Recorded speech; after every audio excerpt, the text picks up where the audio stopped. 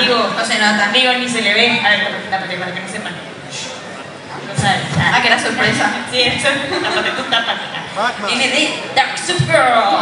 Un aplauso para nuestra presentadora. Muy guapa, muy guapa. Bueno, ahora vamos.